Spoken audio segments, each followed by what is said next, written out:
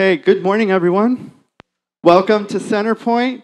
We are so happy that you are here with us, ready to worship our great and powerful God. Amen. Amen. Why don't we stand up this morning and let's just pray. Let's reflect on the many blessings of Christ, what He has done in your life this week. He has been faithful, He has been just. He has been kind. He has done the impossible. Dear Jesus, thank you for your presence. Thank you for the life that you give us. Thank you that we are never alone, that you fight our battles alongside of us. Thank you, Lord, for your might and your power. You created the heavens and the earth. Nothing is impossible for you, our God. We proclaim your goodness in this place. With our lips, may we bring praise that is worthy of you, Jesus. We worship you this day. You are gracious and kind and powerful. Lord, we bless your name because you have sustained us and you will continue to do so till the day that we are all united together before your throne. Jesus, we praise you. Amen. Amen. Amen. He is the God of the impossible.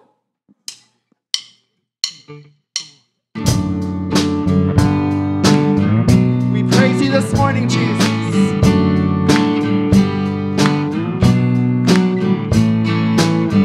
You heal the brokenhearted. You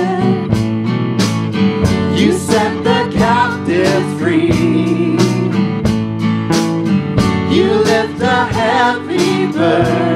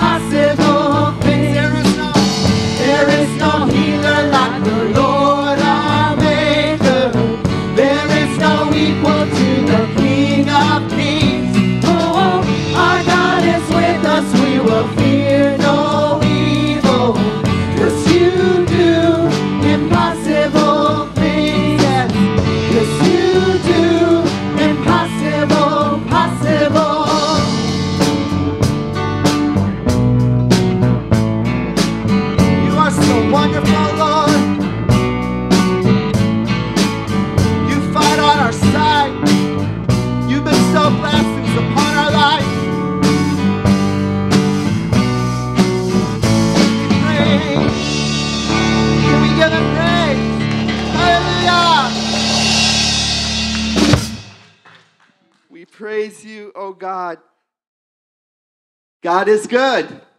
Amen. Do you believe that? The fact that we are here together is proof of the grace and the mercy of Jesus. Amen. He has been so good to us. In the book of Deuteronomy, chapter 7, it says this The Lord did not send his affection on you and choose you because you were more numerous than other peoples. God is speaking to the people of Israel and why he chose them. We are the people of God, amen, the church. He did not choose us because we were numerous or talented or many other things. But it was because the Lord has loved us and kept his oath that he has sworn throughout all of our spiritual ancestors, all the way back to Abraham. Know therefore that the Lord your God is God. He is the faithful God, keeping his covenant of love to a thousand generations of those who love him and keep his commands. Therefore, take care to follow the commands, the decrees that I give you today. He will love you and bless you and increase your numbers. He will bless the fruit of your womb, the crops of your land, your grain, new wine and olive oil, the calves of your herds and the lambs of your flocks in the land he swore to your ancestors to give you. You will be more blessed than any other people. Isn't that wonderful? His promises are yes and amen for his people. But there is a condition. We must obey. We must submit to his lordship. Jesus is Lord. And when we say that, all these spiritual blessings are ours. They're our inheritance. His promises are yes and amen.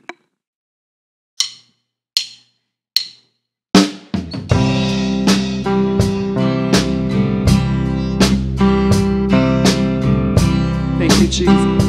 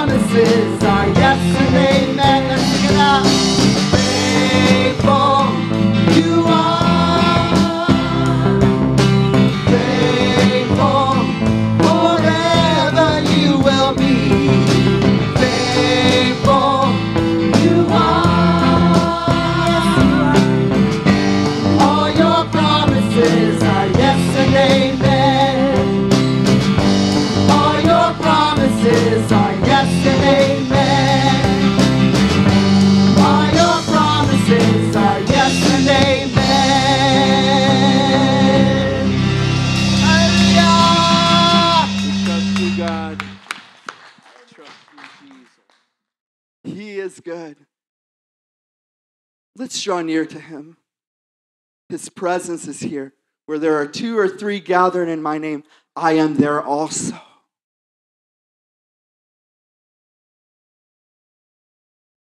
Jesus knows you better than anybody else. He knows your need today. And He is here to meet and encounter you and pour out His love for you, change you, transform you. It's because of His mercy that we are not consumed.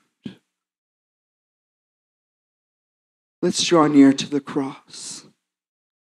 There is forgiveness, there is redemption. He changes it every he changes it all if we let him. Jesus, we open our hands, we open our hearts to you. You are our good shepherd, our provider, who cares and loves for us, who leaves the rest of the flock to go after our lost hearts. Center point, just praise him. Give him thanks. With your own words, he desires to hear your prayer. Hmm. You never change. You are the same yesterday, today, and for all generations. Our victorious King, we love you.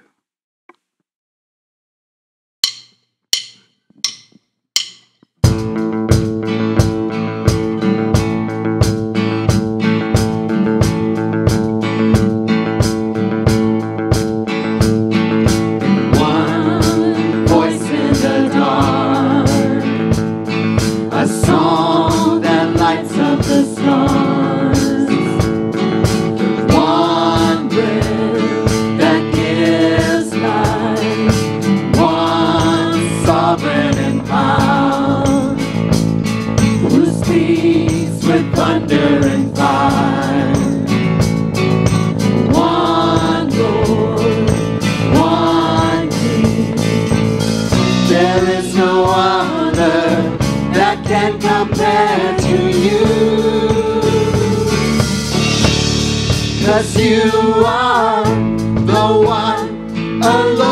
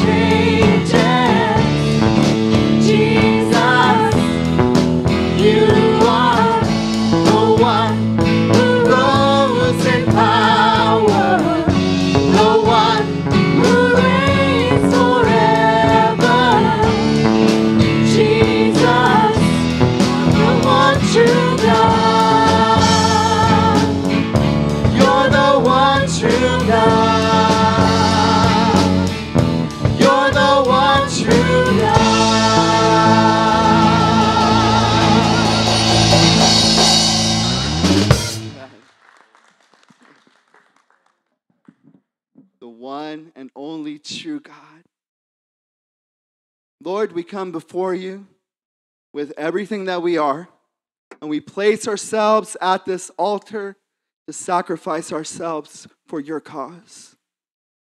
Jesus, move today, speak in power. May your word fall in our hearts. Remove those tough layers that we've been building up in our hearts, God. Give us a brand new heart today. Peel the scales off of our eyes and clog our ears. Help us to see the way that you see, to love the way that you love, to live this life the way you want us to live.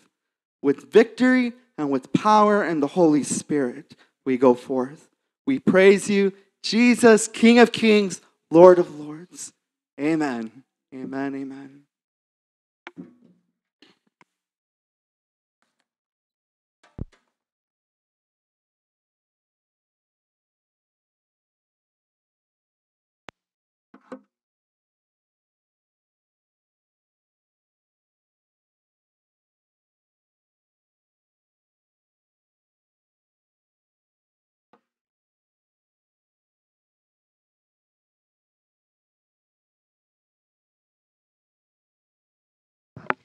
Good morning. My name is Peggy, and I'm going to be um, sharing with you, or with the children, and you grown-ups are welcome to listen, our kids' lesson this morning. So, welcome to Kids Point. We're going to spend a few minutes getting ready for our lesson today. Now, kids, I want you to think with me. Grown-ups, think too. Have you ever had company? Have you ever had someone come to your house for dinner that maybe you, um, it was special? Maybe it wasn't just you or your family immediate, but you had someone come to dinner? Raise your hand. We've all had company come over, right? What do your what does your family tell you to do when you're having company? You have to do what? What kind of things do kids have to do when there's getting company? Go ahead. Clean your room. Isn't that the favorite? What else do kids have to do when they're having company come over? Anything else? Set the table. Maybe you need to wash your face. Maybe you need to wash your hands. Maybe you need to put the dog out. Maybe you take a shower. Always a good idea. Exactly. do you only do that for company? Hopefully not. Yes.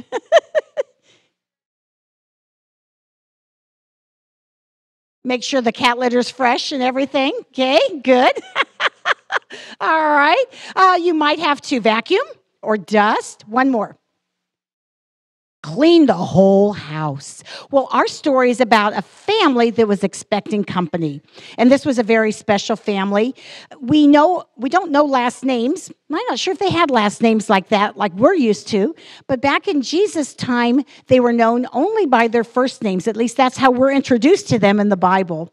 It's a family they're two sisters and a brother. So there are three kids in the family and when we meet them they're all grown-ups. So they are grown ups, they are adults, and they were expecting company. And you can probably guess, but their company is Jesus. Jesus is coming to dinner. And the family, Mary and Martha, are the ladies, and their brother is Lazarus. Now, I'm not going to be talking to you about Lazarus. Pastor Dwayne's going to be mentioning Lazarus later on when we have our later part of our lesson for the older kids. But I'm going to introduce you to Mary and Martha, this wonderful set of sisters, and they loved Jesus. Mary, Martha, and Lazarus were good friends with Jesus. You might have friends in your life that are like family. They aren't really your family, but you feel like they're family. Maybe you just love them so much and you kind of forget that you're not really related because they're just so much like family. And that's how Mary, Martha, and Lazarus felt about Jesus, and that's how Jesus felt about them. So Jesus was coming through their town. They lived in the town of Bethany. And Mary and Martha had gotten word that Jesus was coming. Yay! Jesus is coming. They were so excited. And so they got busy doing things that you do when company, especially someone you love so much, is coming. Oh, did I mention that it wasn't just Jesus? It said his disciples came too. There were 12 disciples plus Jesus. You quick math minds, how many is that? 13, scaring me a little here. Okay, 13. All right, and then we also have Mary and Martha. So 13 plus 2 is 15. And then probably they invited Lazarus because, you know, he's their brother. You got to have the brother. So now we're up to at least 16, maybe more, because we know a lot of people like to come with Jesus. So who knows? Maybe there were more than 16. Can you imagine getting dinner ready for 16 people to come to your house? That took a little bit of work, a lot of bit of work. So Mary and Martha got busy. I would imagine they started dusting, cleaning all the furniture, making sure that there was no dust on the shelves, getting everything all wiped up, probably swept the floor, swept the floor, got everything all clean and ready for Jesus' visit. And they were excited. I'm sure those ladies were just yak, yak, yak. Oh, I can't wait to show Jesus I got this new pottery. And oh, he's going to love this dish I just made. And oh, look, we can get the best furniture out. And they were so excited. And then it came time to cook. Just a second, I have to get ready.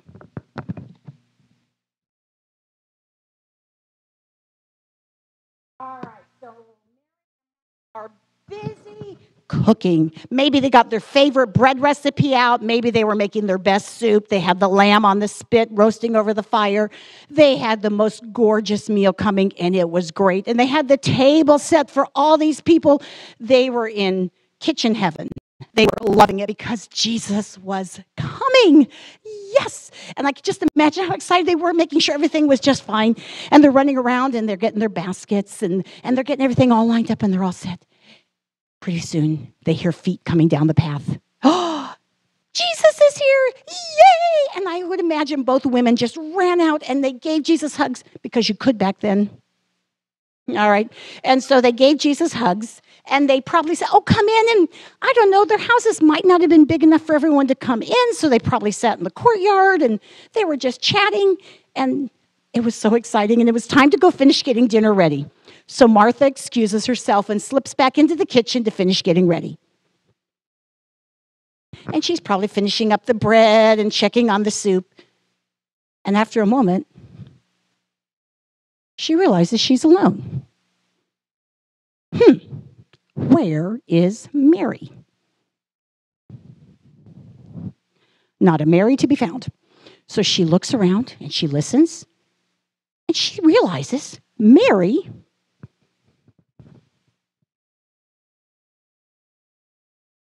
is sitting out with Jesus like this.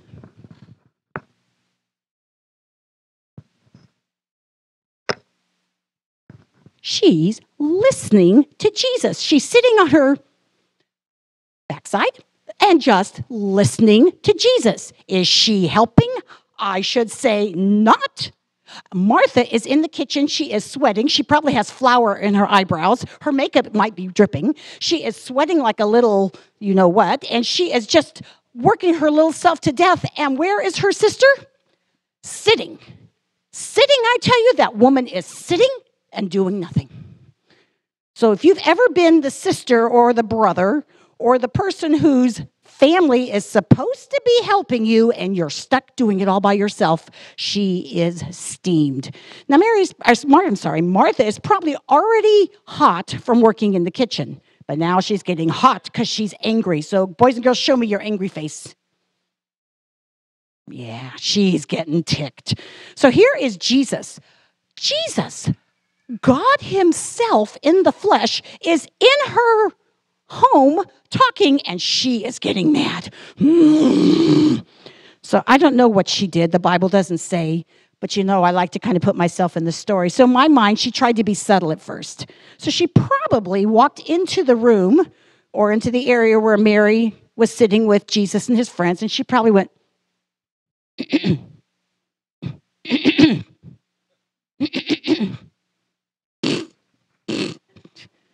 Mary didn't budge.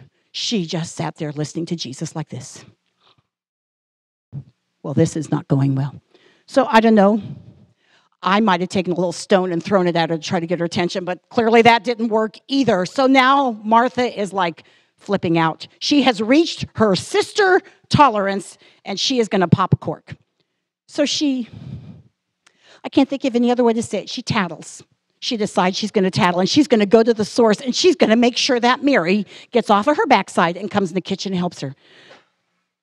We're not told exactly how loud a voice she used, but I'm thinking by the time she got to this point, Her voice was that high, kind of strained, squeaky feeling you get when you're like, you've reached it. She marches up to Jesus and she says, Jesus, don't you care that my sister is just sitting here and leaving me to do all the work? Tell her to come help me. I'm sorry, that just makes me laugh because can you imagine? Here is the God of the universe talking at her house, and Martha, make my sister help me. it just makes me smile because you know what, boys and girls, sometimes we do that too.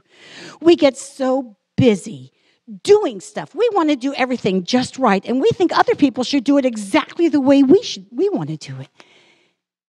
And Jesus' answer to her was, wonderfully kind. Not what she was expecting. I'm pretty sure she thought Jesus would say, Yeah, Mary, get up and go help your sister. Poor thing's working by herself. But that's not what he said. He also didn't scold Martha. He didn't get mad at Martha. He said, Martha, Martha, you're, you're working so hard, and I appreciate that. But your sister has actually made the better choice. She's listening, she's spending time with me. And I can just imagine that Martha, who was like all, just kind of, ooh. And she realized, she realized then, yes, it's important to work for Jesus. It is so important to do your best and give him, give him everything. But sometimes we get so busy doing stuff for Jesus, we forget to spend time with Jesus. So as we continue learning about Mary and Martha, keep in mind how they learned to spend time with Jesus.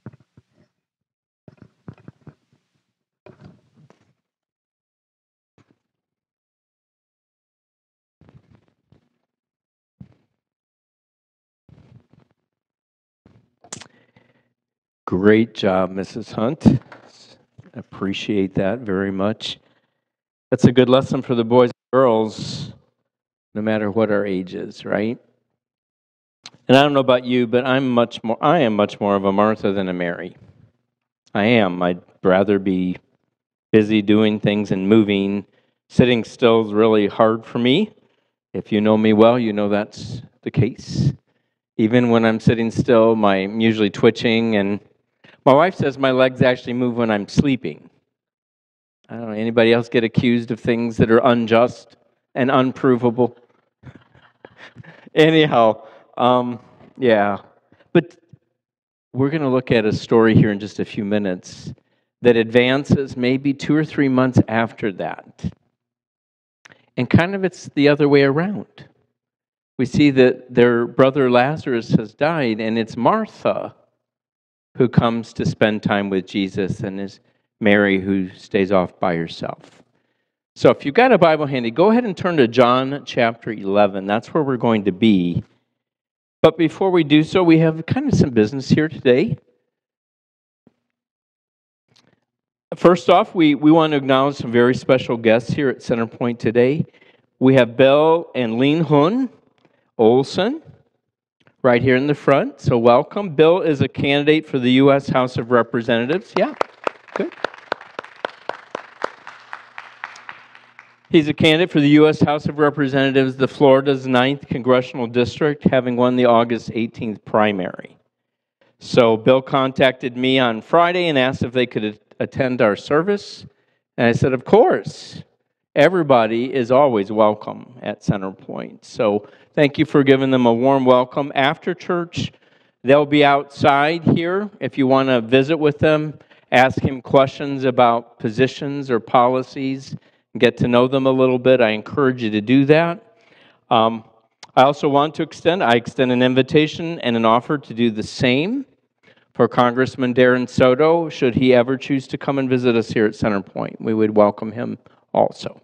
So, welcome to the Olson. So, let's give him another welcome.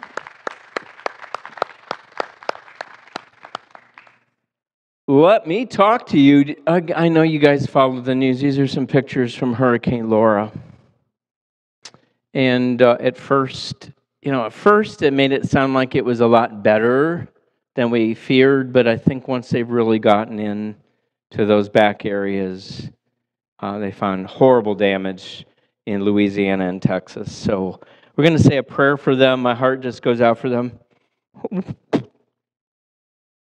We know what's that. We know what that's like.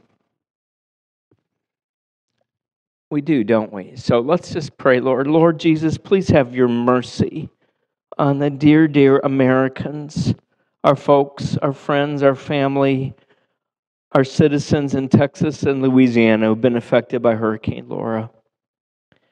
Lord, if, if some are still needing rescue, we pray that the rescuers will still find them. Father, fill these people with hope. I pray that people will rally to volunteer, to help, to support, and to be Jesus' hands and feet in this area of profound need right now, Lord. So we, we lift them up to you. Jesus, do your work. Let this be the time for the church to rise up and take care of people in the name of Jesus. We ask in your name, Lord. Amen. So some may ask, what can we do? And here's what I'm going to encourage. First off, I'm going to encourage if you want to do something for Hurricane Laura, I encourage you to use Samaritan's Purse. That's Franklin Graham's organization, SamaritansPurse.org. They're on the ground, they're already there. They have trucks in two locations. They do need volunteers. So if any of you want to volunteer, you can go to that website, dig around a little bit, and we can find out. And if any of you do that, let me know. I don't know. You never know when you throw things like that out, right? So if anybody wants to volunteer, it's not that far to Louisiana, right? And then also giving. We need giving. And The place to give, if you want to, we encourage you to direct give to Samaritan's Purse for this. You want to be in the U.S. disaster relief. Once you get in there, you're going to find all sorts of options. The one that would go to Hurricane Laura relief is called the U.S. Disaster Relief, and up there it's 013622. But again, SamaritansPurse.org and they do good work. They are very financially accountable, and it's gospel centric. And I love all those things uh, most about Samaritan's Purse. I will tell you this. Um, I think we'll be talking at a, a, directional board to see if we want to send any corporate amounts, but we encourage you guys to do so individually. Just gives me a, just a time for a reminder in this time of COVID and you know, we have fewer people here on Sundays. I want to thank everybody who continues to give. Your faithfulness can be overwhelming, and we're really grateful. Encourage you, there, there are different ways to give. You can give at church. You see those boxes at the back as you leave. That's just put any of your offerings in that slot, and it'll go straight into the offering. Many of you are doing this. We, you can give by mail. Did you know there's still mail? So you can give by mail. I mean, you can did you can still address an envelope and put a stamp on it. It's a miracle. But you can do that, handwrite a check, or you can set up your online bill pay. Um, that's a lot of people do both those things. Another way to give is to go to centerpointchurch.org/giving, and you can give via credit card or debit card directly on the website. Now, the reason I bring this up right now um, is just so that I remind you once again we have a commitment at Centerpoint to make a difference in our outside world. It's not all about the church. We're not trying to be fat cats building any sort of grand anything. 10% of everything that comes into Centerpoint goes back out. That's our commitment. So we give to missionaries foreign and in the U.S., we support missionary church. Um, excuse me. We support local agencies like the Mission, the Lake Wales Care Center, and Life Choice Pregnancy Center, and we have and will support Samaritan's Purse. So, anyhow, if you want to give, just know that even if you just give general money here at Centerpoint, 10% of it goes right back out. We're committed to reaching our community and making a difference. Now, are you guys ready? I need you to get I need you guys to give me some mercy, okay? Who promises to give me mercy if I don't say something right? Just give me a little mercy, please. Because today you don't know what you can say anymore. Uh, what new words are on the forbidden list? I don't know. So, what I'm going to do, I'm going to say some provocative things. So, I'll try, I'm going to try to read them. so, I stay on script because going off the cuff is a dangerous thing, right? So let me read these, And it sets up where we're going because there's a correlation between the chaos of our culture and our world today and the situation we're going to look at in John chapter 11. Something's got to give in our country. Can't you feel the tension? The potential explosion where if the course is continued, things will never be the same. I think we all feel that. Now, we may have different opinions as to the source and the solutions, but something's got to give. There's probably plenty of blame to go around. We're at a crisis, a tension, an explosive crossroads from which there's no turning back. Things may never be the same. Politics, division, rhetoric, social media, uncivil discourse, racial tension, injustice, violence, mobs, looting, burning, shootings, harassment, media, real or fake news, entertainment industry, sports, universities, red states, blue states, the divided states of America. Salute the flag or burn the flag? Stand, kneel. Do people even have the same vision of America? Or do people even have the same vision for America? I think the answer is no. Can we find any common ground or agreement? Now, I don't need to paint the picture for you any more than that because it's bombarding all around us. Again, we, we may have different opinions as to the source and the solutions, and that's fine. But don't we all have the sense that something's got to give? Ever get the sense that this can't continue?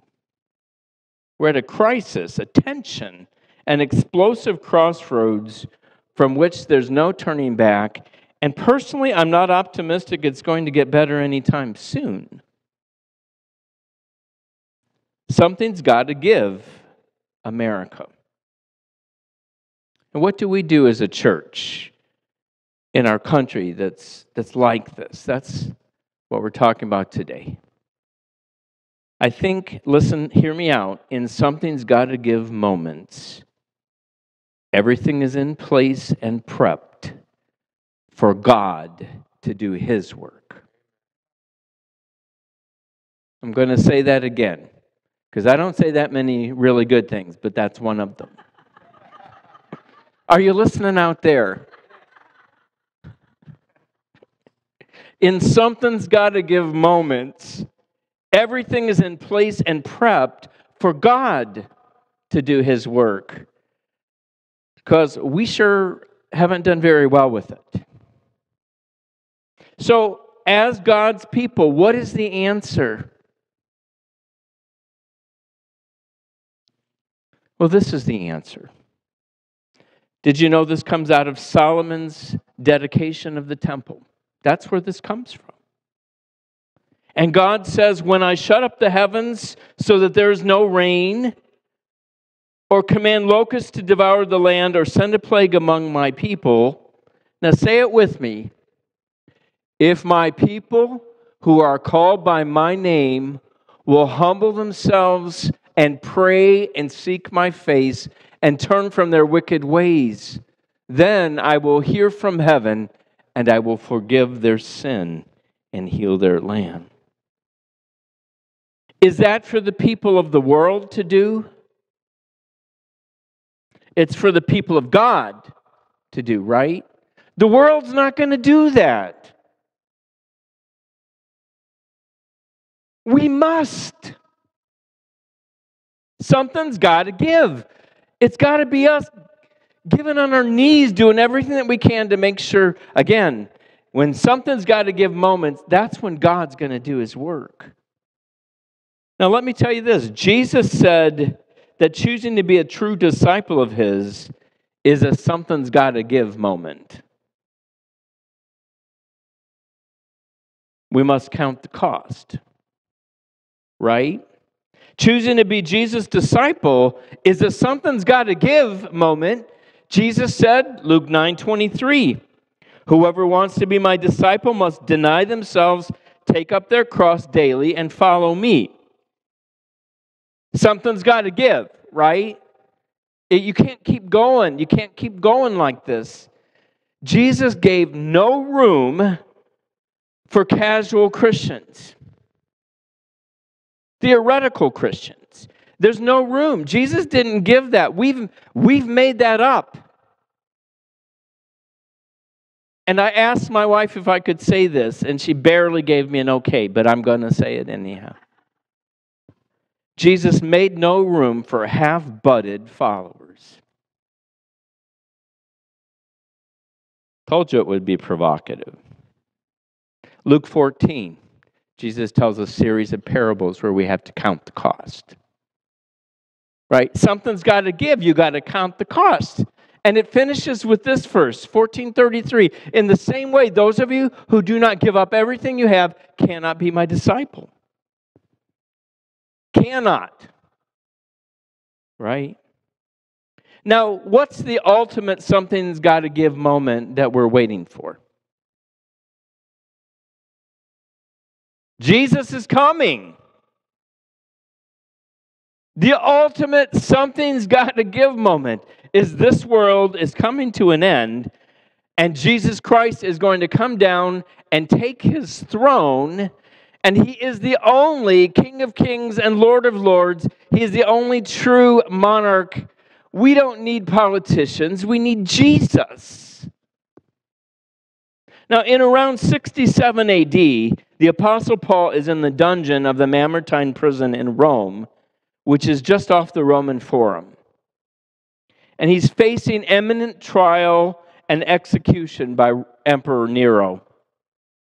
Among the last words he pens are words about the last days before Jesus' return and his instructions to Pastor Timothy and the church at Ephesus as to how to treat those days. Going to read these verses, they'll be on the screen. You tell me if it's not to, if it doesn't sound like today. But here we, we, we might reference that sounds like today, but what we're supposed to do about it is also there, right? So I don't know about you, but sometimes what, what are we supposed to do about this? We're the people of God. Something's got to give, people of God. We can't control the world. Has not COVID taught us that we can't control? I uh, we can't control much of anything, right? But God is in control. And God calls us to join him. Here it is, 2 Timothy 4. In the presence of God and of Christ Jesus, who will judge the living and the dead, in view of his appearing and his kingdom, I give you this charge. Paul's saying Jesus is coming back, and in the last, this is what it, what I'm charging you to do. He says, preach the word. Church of God, we better be committed to the word of God. That's our job. That's why we're here. That's what we're called to do. No matter what the culture says, no matter where the culture's heading, no matter where America was, or is, or will be, we're to do what? Preach the word of God. Be prepared in season and out of season. Are we prepared? Correct, rebuke, and encourage with great patience and careful instruction. See, I'm, I, like I said a couple weeks ago, I'm having trouble with the number of Christians that just want everything to be the love of Jesus and the gooey, feel good gospel. Paul says, correct, rebuke, and encourage, right? But he also says we have to do it with, with care, with great care and patience. So, how we do it matters. Number th- verse 3 For the time will come when men will not put up with sound doctrine. Instead, to suit their own desires, they will gather around them a great number of teachers to say what their itching ears want to hear. 67 AD is when Paul wrote these words. Keep going. They will turn their ears away from the truth and turn aside to myths. You think our world is turning away from the truth? But you, okay, now here's, here's us again, right? But you, keep your head in all situations. We have to keep our heads in all situations, even what's going now. Endure hardship. Rats. Did you read that? Endure hardship. But it's there, right? Do the work of an evangelist. It means we have to tell everybody about Jesus, that they're lost without Jesus, and that Jesus is the way, truth, and life. Do the work of an evangelist. Discharge all the duties of your ministry.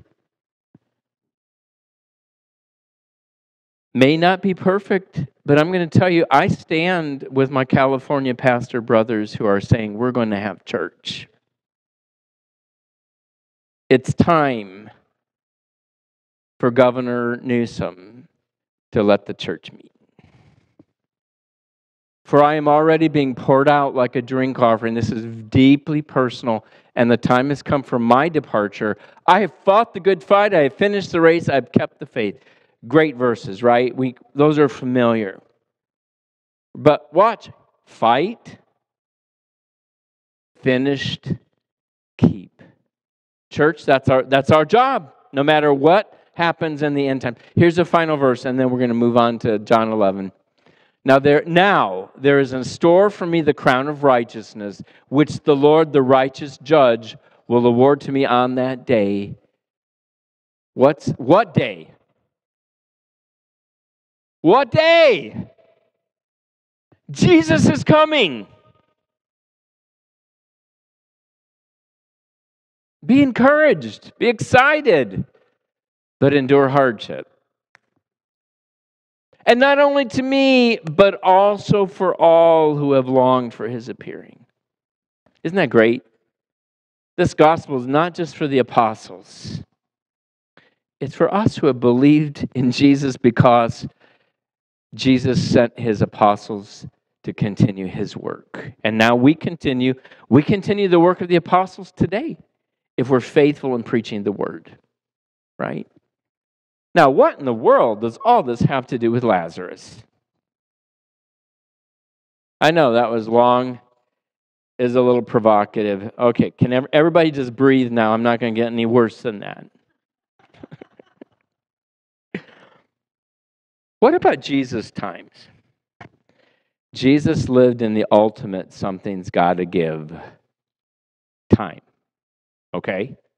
Something's got to give, Israel. They've had 700 years of foreign occupation and rule, starting with the northern kingdom in Assyria, Babylon, Persia, Greece, the pseudo Greek empires of the Ptolemies and the Seleucids. And now, since 63 BC, about 100 years prior to this, Rome. Rome occupied and oppressed so there were constant uprisings and rebellions and constant tension. And the Romans would squash rebellion by crucifying the accused. It was a time where something's got to give. It was a powder keg. And interestingly, the destruction of Jerusalem by Rome happened in 70 AD, about 40 years later. Now, for the faith community, something's got to give. They had 400 years with no prophetic voice from God. The Old Testament ends with Malachi around 400 BC, prophesying that the next voice in the wilderness would be John the Baptist. 400 years. So there was religious despair, disillusionment, yearning for a Messiah that most had given up on ever coming. And then they were locked into the idea box that the Messiah would be a political leader to overthrow Rome. So when Jesus came the way he came, a lot of them missed it because they were locked in the wrong box. Their ideas were all locked up. And what about the religious leaders? Well, they had a series of factions.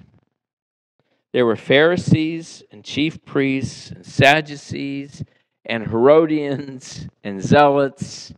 We know of the Essene community that had the caves at Qumran, separatists, devoted people, and they all had different ideas and they all competed with one another. They all competed for Roman attention and power and authority, and the true intentions not for all of them. There were sincere people of God in, in all those camps. But at the same time, they weren't giving the truth. And so today stood right in front of them the Son of God, the Word. It's an explosive world.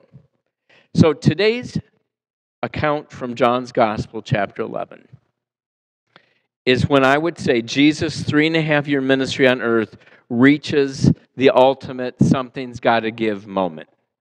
Okay. It's all coming to a head.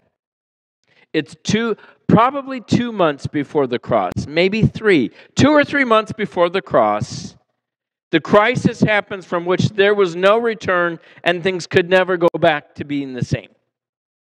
When Jesus raises Lazarus from the dead, that was it. It was an explosive moment when there was no turning back. Remember earlier in our study, talked about how the feeding of the 5,000 was a turning point.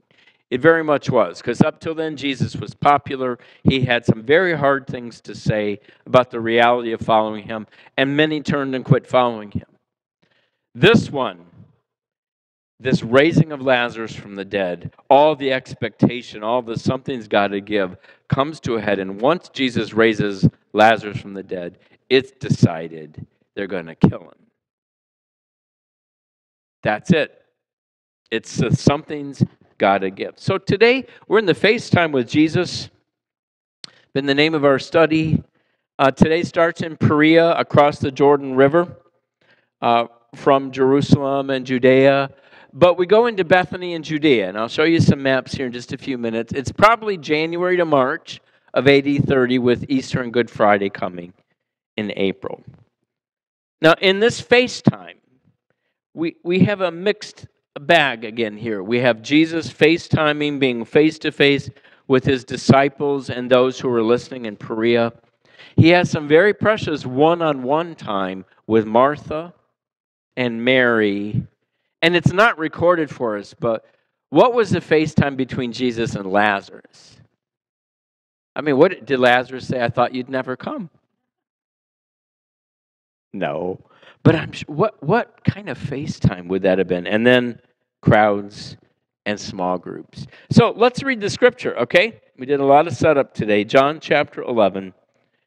Um, it's a long chapter, so we're going to not read all of it, but we're going to start with verse 1, though. Would you guys stand as we read God's word, John chapter 11? I encourage you to keep it open. And, guys, there's so much in here. We cannot cover absolutely everything that we could because there's a lot of ways it could go. Okay. John's Gospel, chapter 1. Pardon me, 11, verse 1. Now, a man named Lazarus was sick he was from Bethany, the village of Mary and her sister Martha. This Mary, whose brother Lazarus now lay sick, was the same one who poured perfume on the Lord and wiped his feet with her hair. That actually happens later. So the sisters sent word to Jesus Lord, the one you love is sick. And when he heard this, Jesus said, This sickness will not end in death. No, it is for God's glory, so that God's Son may be glorified through it. Now, Jesus loved Martha and her sister and Lazarus. So when he heard that Lazarus was sick, He stayed where he was two more days. And then he said to his disciples, Let us go back to Judea. But, Rabbi, they said, a short while ago the Jews there tried to stone you, and yet are you going back? And Jesus answered, Are there not 12 hours of daylight? Anyone who walks in the daytime will not stumble, for they see by this world's light. It is when a person walks at night that they stumble, for they have no light. After he said this, he went on to tell them, Our friend Lazarus has fallen asleep, but I am going there to wake him up. His disciples replied, Lord, if he sleeps, he will get better. Jesus had been speaking of his death, but his disciples thought he meant natural sleep. So he told them plainly, Lazarus is dead. And it is for your sake I am glad I was not there, so that you might believe. But let us go to him. Then Thomas, also known as Didymus, which means twin, said to the rest of the disciples, Let us also go, that we may die with him. Now, on his arrival, Jesus found that Lazarus had been in the tomb for four days. Now, Bethany was less than two miles from Jerusalem, and many had come, pardon me, many Jews had come to Mary and Martha to comfort them in the loss of their brother. When Martha heard that Jesus was coming, she went out to meet him but Mary stayed at home. Lord, Martha said to Jesus, if you had been here, my brother would not have died. But I know that even now God will give you whatever you ask. Jesus said to her, Your brother will rise again. Martha answered, I know he will rise again in the resurrection at the last day. Jesus said to her, I am the resurrection, and the life. The one who believes in me will live even though he dies, and whoever lives by believing in me will never die. Do you believe this? Yes, Lord, she replied. I believe that you are the Messiah, the Christ, the Son of the, the Son of God who is to come into the world.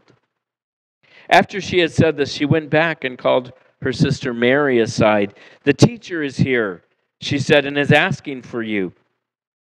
When Mary heard this, she got up quickly and went to him. Now, Jesus had not yet entered the village, but was still at the place where Martha had met him.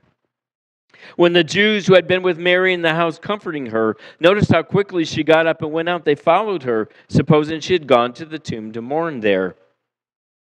When Mary reached the place where Jesus was, and saw him.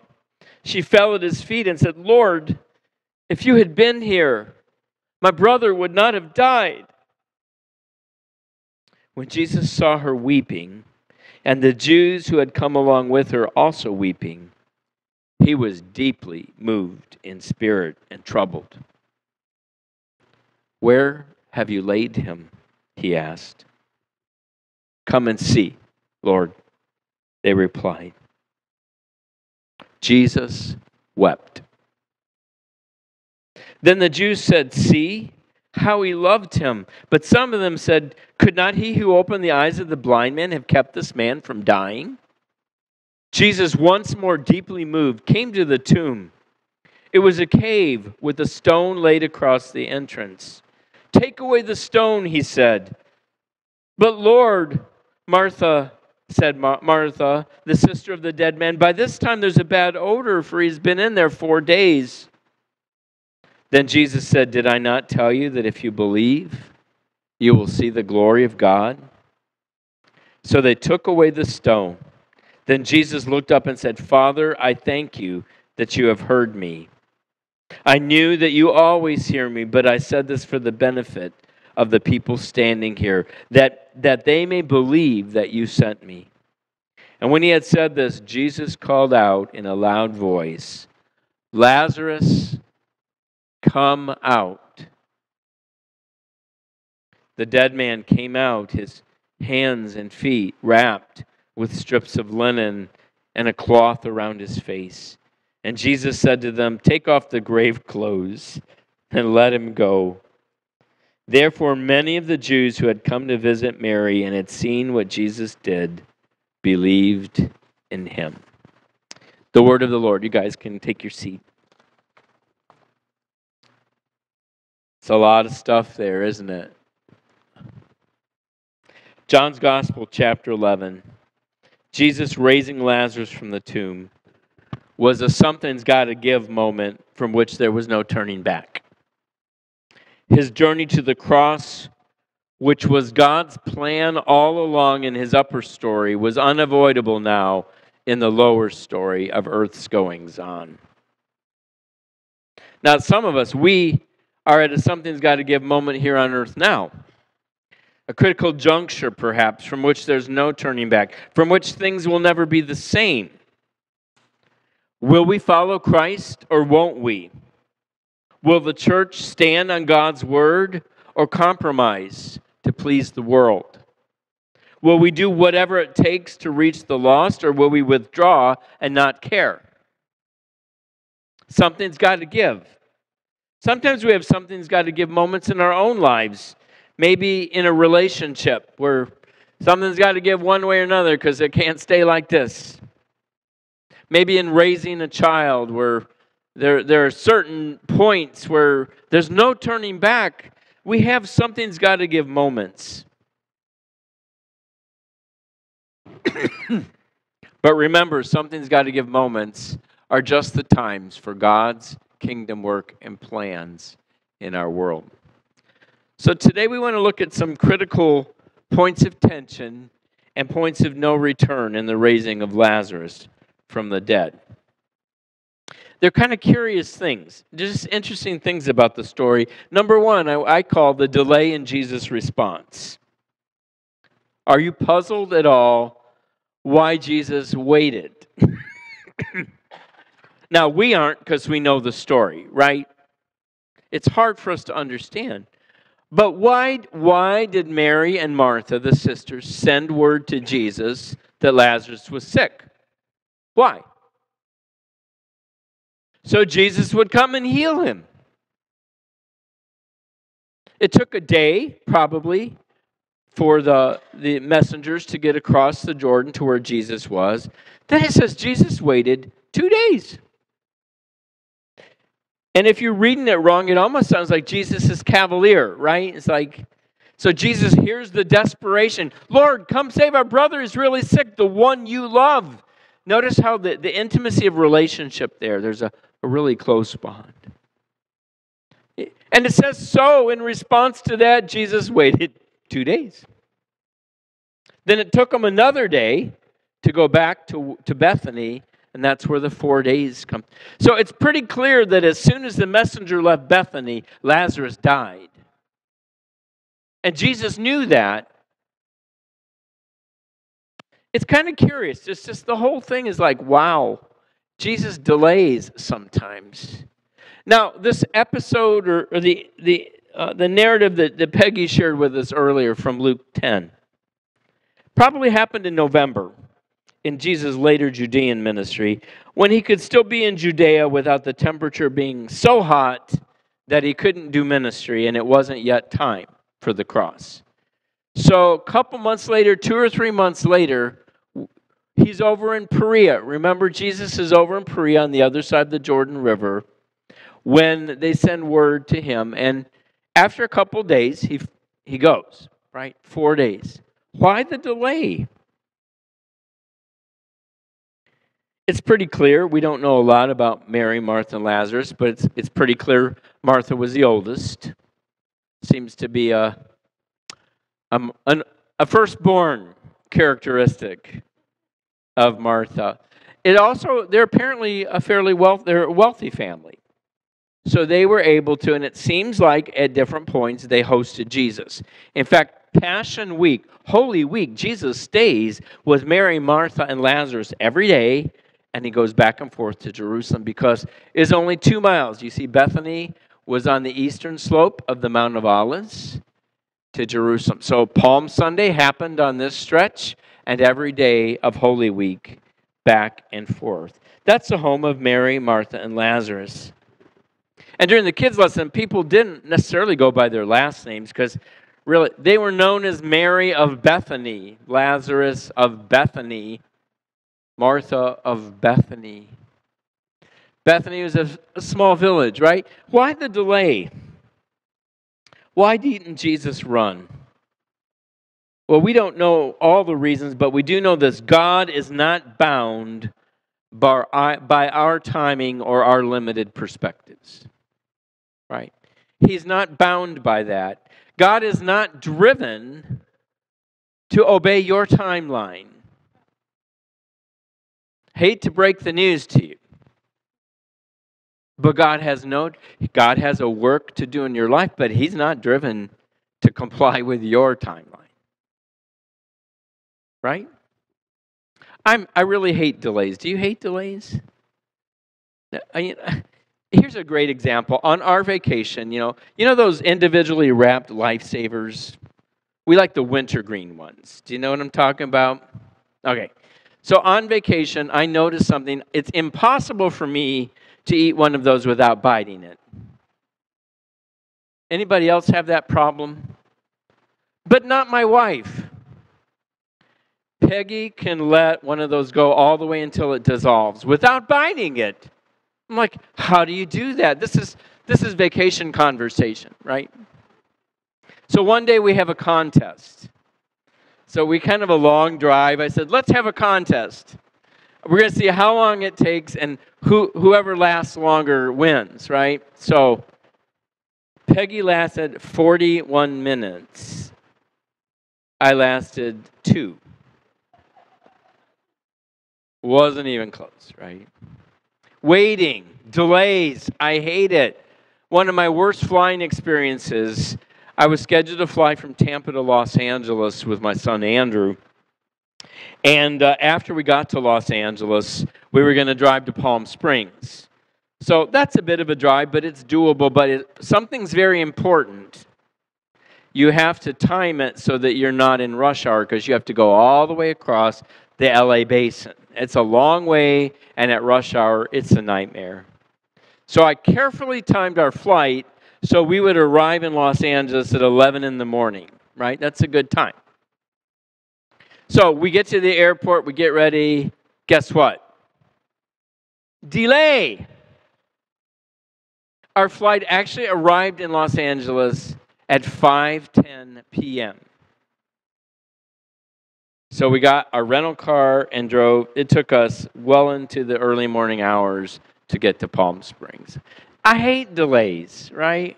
We all hate delays, but God is not bound by our timeline or our limited perspectives. Remember, when Jesus was born, when the time had fully come, God sent the Messiah. And that was God's plan and God's timing. Why there were 400 silent years. It was all in preparation.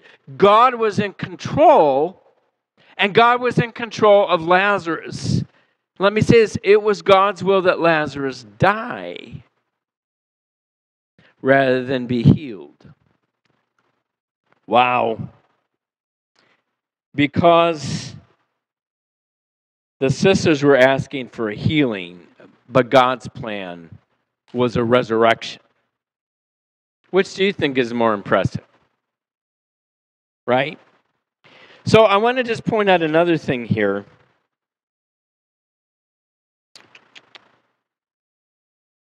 Being close to Jesus doesn't necessarily exempt us from hardship. Okay? Who was closer to Jesus than Mary, Martha, and Lazarus? I mean, you, you see the Lord, the one you love. And then the people, when they see Jesus weep, they say, Look at, oh, how he loved him. But the question, the delay is still there. Then why didn't he heal him? Do you notice? You notice three times. Martha says, Lord, if you'd been here, my brother wouldn't have died. Later, Mary comes and says, Lord, if you'd been here, my brother wouldn't have died. And later, the crowd said, Couldn't the man who healed the blind man have kept this man from dying? We have questions, don't we? And sometimes we have to accept God is God. We don't know all the answers. Do I really trust him or don't I? Right? Oh, Christine, I think that was on your timeline or your Facebook. I heard your prayer. Trust my timing, God. Did God hear Mary and Martha's prayer for Lazarus' healing? Of course. But God had something even better in mind. If you, you remember how all these people who were healed, we like almost don't know any of their names. But Lazarus was raised from the dead. We know his name, right? There was a purpose, the purpose of God. God closed the lion's mouth for Daniel. He parted the Red Sea for Moses. He gave Sarah a baby. He raised Lazarus from the dead. Nothing you'll face today is out of his control. Trust God. Now, number two, let's look for a minute the dialogue and the declaration between Martha mostly between Martha and Jesus. But so Martha, by the way, do you see there? Mary and Martha actually kind of flip roles. You see, people handle grief differently, right? So Martha, in her grief, she heard Jesus was coming. I know the rain is loud, isn't it? She heard Jesus was coming and she initiated. She she did what she could. She's in grief, but she's looking to handle her grief but what about Mary? Mary wouldn't come. Isn't that kind of the reverse? It's Martha who's needing that relationship, but Mary's the one who just withdraws. Sometimes, sometimes in grief, people initiate to do something about it, and sometimes in grief, people withdraw. Right? And you know what? We all get a turn. Martha and Mary, they flipped. We all get a turn, right? And grief is something that's so hard to handle, anyhow. So Mary, Martha says, Lord, if you'd been here, my brother wouldn't have died. Do you think there's any disappointment, um, even maybe accusation in that? I think so. It's like, Jesus, what are you doing? If you'd been here, my brother wouldn't have died. And then there's a moment where she's like, But now it's too late. You can't do anything about it. But Jesus has this dialogue. I love how Jesus has a dialogue with Mary and Martha, but with Martha first. And he, along the dialogue, he's trying to lead her along and build her faith. Right? So it goes back and forth. And he says, Your brother will rise again. But, but even before that, Martha says, But even now, Lord, I, I know that God will do whatever you ask him. I don't think she dared ask. It's like she didn't have the faith to say, Okay, he's dead now, but you can raise him, right? She just wasn't quite there yet. And so Jesus says, Your brother will rise again. And Martha's like, um, she was a good theology student, right? Well, I know he will rise again at the last day in the resurrection. And Jesus, I think Jesus must have smiled and said, That's true too. But no, I have something else in mind right now. And then Jesus makes this declaration. It's one of the profound declarations that he makes. Remember, we've talked about some of Jesus' I am statements. This is one of those glorious statements. When Jesus is saying them, he's deliberately referencing back to Exodus 3. When God says, My name, the name of God is Yahweh, I am. So Jesus had the audacity multiple times to say, I am. And in the Greek, it's very emphatic. It means, I, I am. It's deliberate. So he says, I am the resurrection and the life. He who believes in me will live even though he dies, and whoever le- believes, pardon me, whoever lives and believes in me will never die. Do you believe this? This is a question every single one of us must answer. Jesus says, Here I am. I am the resurrection and the life. It means he's the source of those things, but that's also his core. That's his identity. He is Anastasia. You know any girls named Anastasia? That's the word resurrection. I am the resurrection, meaning to stand back up again. I am the life. Zoe, if you know any girls named Zoe, it's the name. I am the resurrection and the life. Do you believe this? And whether you answer yes or you answer no, it defines whether or not you know Jesus, whether or not you're lost or found, whether or not you're a Christian. Very, very important. So Jesus makes this remarkable declaration. And then Martha makes a wonderful confession, right? she says, Yes, Lord. Yes, Lord, I believe that you are the Messiah, the Son of God who has come into the world. And I love the tense in the Greek for I believe is actually the perfect tense, which means I have decided, and on that I'm going to stand, and it will never change. I believe that you are the Christ, the Messiah, the Son of God. John has been recording confessions. We've looked at several. Remember, Nathanael says in chapter 1, Rabbi, you are the Son of God, you are the King of Israel. In John chapter 4, because of the Samaritan woman's testimony, the Samaritans said, We no longer believe just because of you said, We have heard for ourselves, and we know that this man is the Savior of the world. In John 6, after the feeding of the 5,000, and, and several of Jesus' followers quit following, and Jesus said, Are you going to leave too? And Peter says, Lord, to whom we go, would we go? You have the words of eternal life. We have come to believe and to know that you are the Holy One of God. Jesus asked the blind man, Do you believe in the Son of Man? And he says, Who is he, sir? Tell me that I may believe in him. And Jesus says, You have now seen him.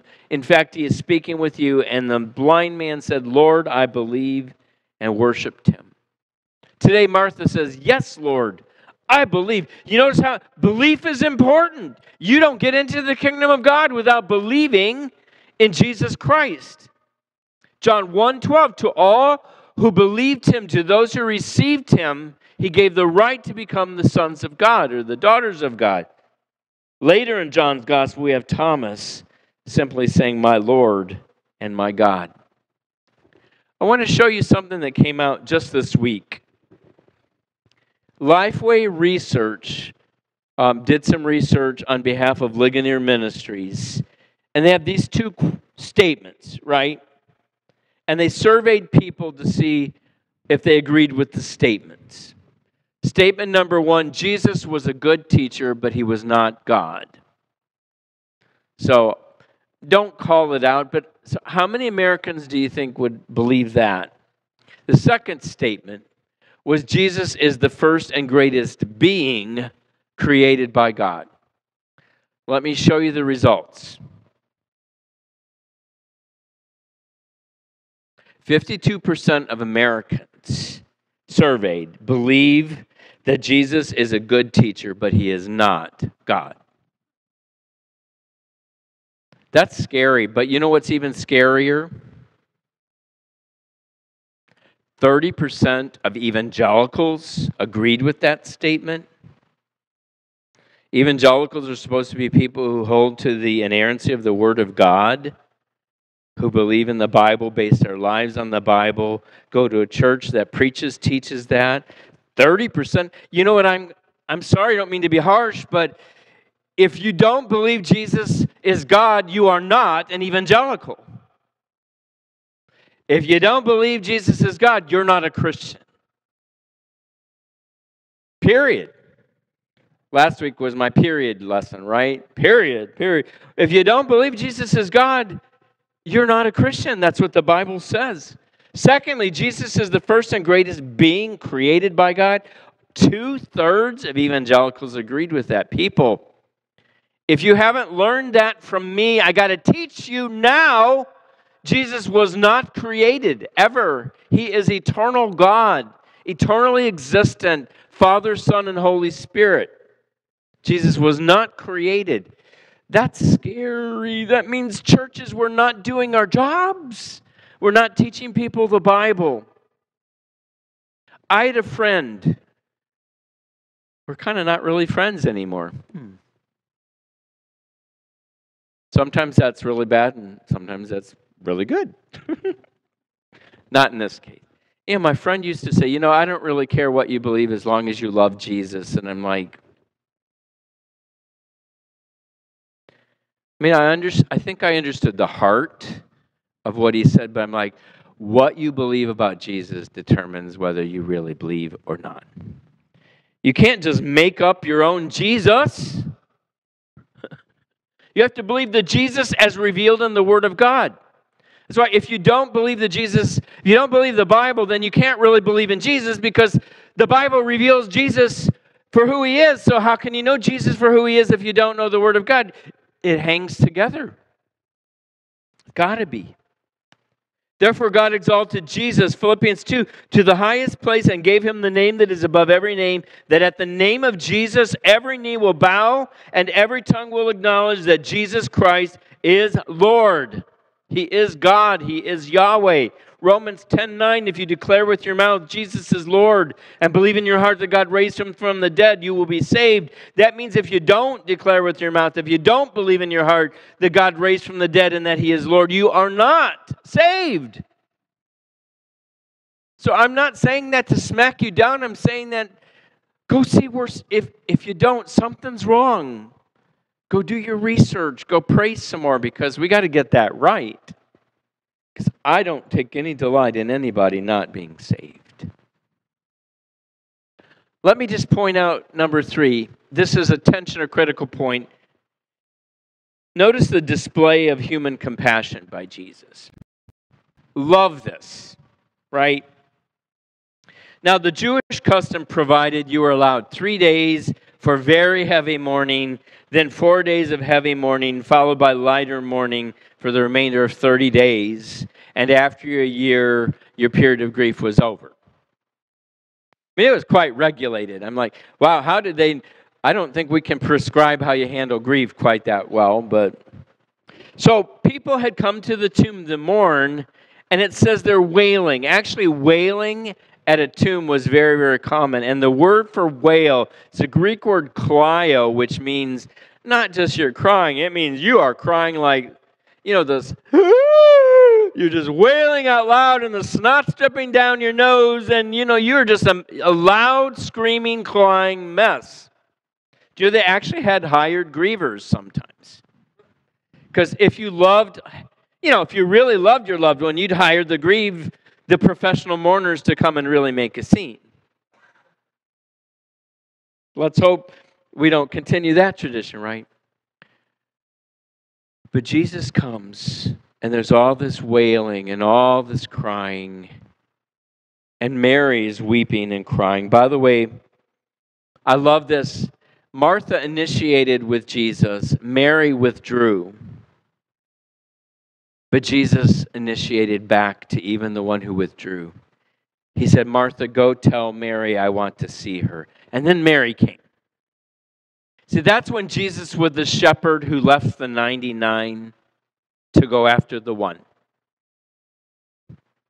See, so Jesus knows, he cares, his compassion is new every morning. And there's a very interesting phrase. If you were ever a Sunday school child doing memory verses, this was our favorite verse. John 11 35. Jesus wept. Did you do that too? John 11 35, Jesus wept. Well, the teacher had to give you credit. That's a whole verse, shortest verse in the Bible. There's something profoundly eloquent about the shortest verse in the Bible just being Jesus wept. It shows us that Jesus had compassion, identifying with us as human. Now, Jesus weeping was not, it's a different word. It means he shed tears quietly. Jesus didn't need to make a scene. But don't we have a question? Why did Jesus weep? It's like he knew he was just about to raise Lazarus from the dead. I think that's kind of a good question. So, why did Jesus weep? And there's a strange verse. It says, actually, in a strange word, in verse 33 and later in verse 38, it says, Jesus was deeply moved. And you know, at first I thought when I read that in English, I thought that must be that word compassion that we've talked about where you feel it in your guts. It's not that word. I'm like, well, what word is that? And I went and looked. It's a word to be angry and give a stern admonition. It's a word which was used to describe an angry horse snorting. I'm a city boy, so I've never really had the experience of an angry horse snorting, but it sounds kind of intimidating. Why would Jesus almost be indignant or angry? Let me give you a, few, a couple theories here. First off, I think Jesus wept because it was his full human identification with us. He's one of us, everybody's weeping. Jesus felt that and he wept too. So when you weep, Jesus weeps, people. I think Jesus looks at our something's got to give, and I think he's weeping. He is weeping over America today. Are we causing, I mean, am I, is he weeping over me? Secondly, I think it's his grief over the fall of humanity, because what represents the fall of humanity more clearly than death? So I think he was overwhelmed with the fact, wow, human sin leads to this, and he wept about it. Oh, that we would weep over the fall of humanity, right? I think he's clearly seeing, don't you see it? It's two months later, he's seeing his own death and tomb. He's seeing his own death and tomb and resurrection just two months later. So it's a powerful in his face moment about what he's about to go through. And finally, why the anger? Here's my theory I think Jesus was angry at Satan. I think he was angry at Satan, at the devil, for what he's done to God's people which leads to our death. Remember, Jesus said in John 10 when we did the Good Shepherd, the thief, the devil, comes to kill, steal, and destroy. But I have come that you might have life. I'm the resurrection and the life. Do you see how it all fits together? Because Jesus is one of us. Now, let me quickly go through the end here. Number four, it's a demonstration of divine power and his nature through the resurrection.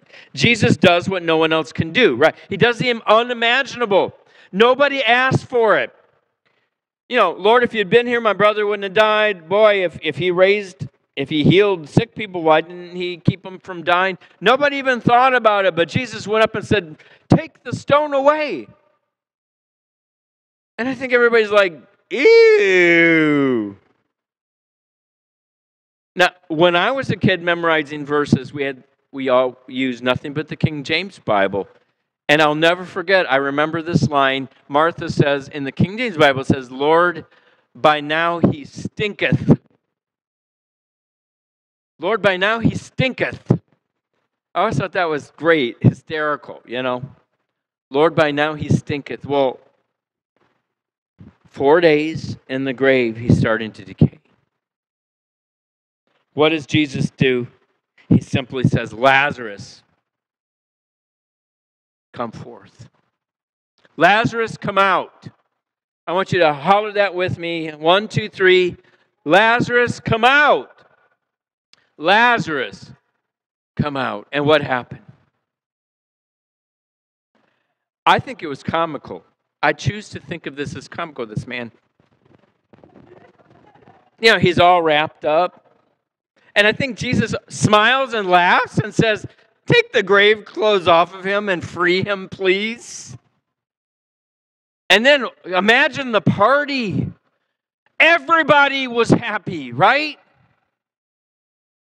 Not so fast. Not everybody was happy. By the way, this is the tomb of Lazarus. You can visit today. If you go to Bethany on the east, it's actually part of suburban Jerusalem now, but it is Palestinian, so it's very, very tough to get to.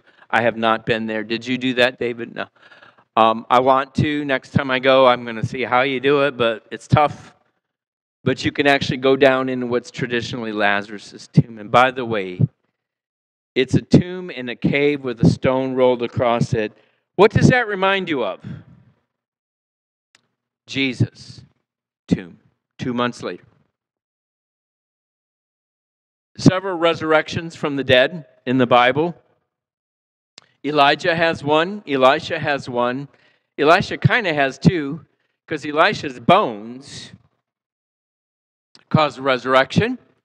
Um, when Jesus died, the moment Jesus died, there were resurrections, all these tombs burst open, and people came up. We have the, the son of a widow at Nain by Jesus, Jairus' daughter, Lazarus, Jesus himself, and then the Apostle Peter and the Apostle Paul have one. Those are the recorded ones. There may have been others. But let me just say resur- resurrection was not an everyday occurrence, right? People didn't even ask, but Jesus showed who he was and the power of God through the resurrection. Number five, I, have already said it, but it's a direct, it's a direction foreshadowing Jesus' immediate future, right? You know, this is all a foreshadowing of what Jesus is about to do, right? One final point. Remember, I said everybody was happy, right? Not so fast.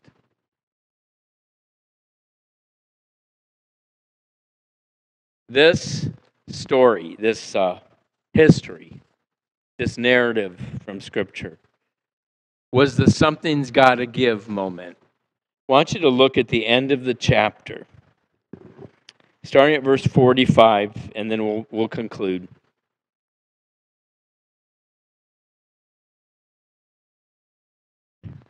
Therefore, many of the Jews who had come to visit Mary and had seen what Jesus did believed in him.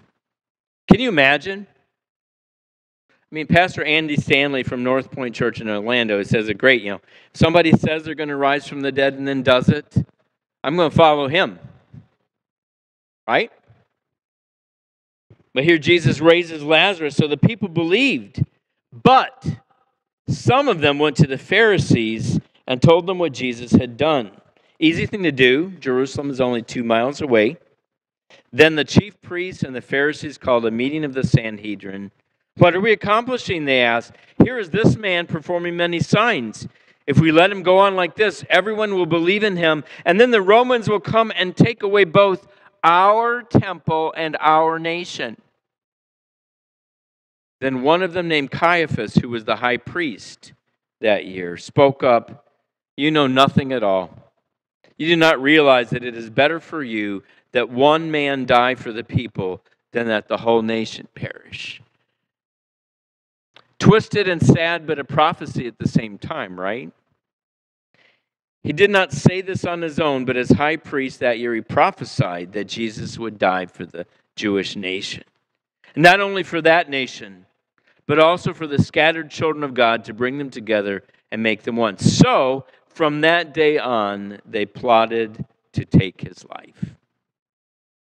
See, that's the whole something's got to give. After Jesus raised Lazarus from the dead, that was it. There was no turning back. They were going to kill him. It's a done deal. Something's got to give. Now, here we are. Something's got to give in our nation if God's people will humble ourselves and pray. Yeah? Something's got to give in our lives, in your life, in my life. You know, we can't just say we follow Jesus. We can't be 30% of evangelicals who don't even know or believe that Jesus was God. We can't be that. We can't be two thirds of evangelicals who say Jesus was created. That's complete heresy. Got to get to the Bible. We can't be the people who say we follow Jesus, but we really don't. Something's got to give. And the something that's got to give is that we got to we got to give ourselves. Everything we are, everything we have, any control, any power, any resources, any rights, any entitlements, we got to give to Jesus. You guys just bow with me as we just wrap things up here? We got to give it to you, Jesus. We hold on to things, we yell things, we claim things. What you want us to do is let go of things. Any man would come after me. Any man, any woman would come after me. He must deny himself. Deny himself. Take up his cross daily and follow me. You cannot be my disciple if you don't give up everything that you have. Or we can't hold on. Something's got to give. And something is that we got to give. We got to give all the stuff because it's not about stuff. It's about the resurrection and the life. It's about us being your agents in this world that's gone mad. It's about us being your church, knowing your word. Something's got to give. So let it be me. Let it be my faith, my discipleship. I want to give.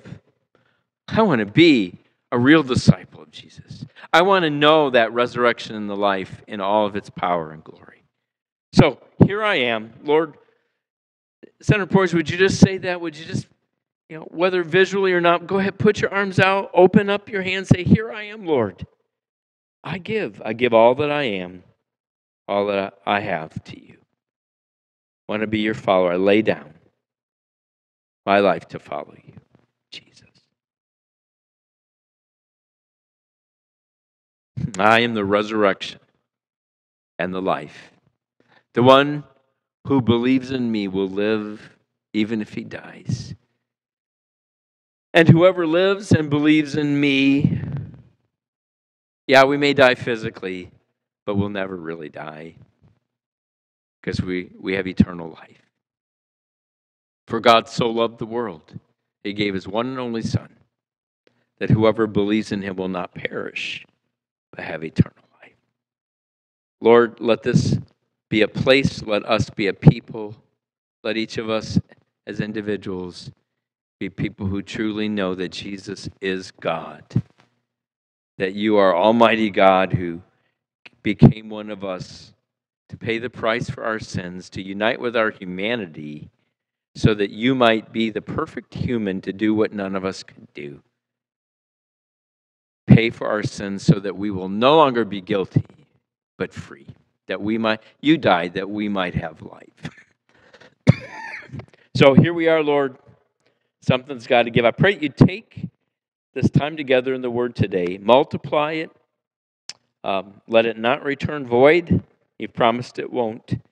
And send us out of here to be people who bring prayer and evangelism and scripture to our lost world. Bring the love of Jesus. We pray, Father God, in your name. Amen. Amen. Amen. Thanks again. And as you leave today, the boxes are for your offerings. Any of you guys that want to meet the Olsons or have any questions uh, for Bill, I don't, I don't know if Lin Hun wants to field all the questions, but um, they're going to be out Prob- well, we'll let, we'll, you know, it's got to be in the lobby because it's raining. So just be out in the lobby. If you want to meet with Bill, go ahead. Otherwise, again, welcome. Thank you very much. Have a great day, everybody. Be blessed. Next week is Labor Day, right? Labor Day? Wow. I've completely lost time and place and everything, right? Everybody have a good week.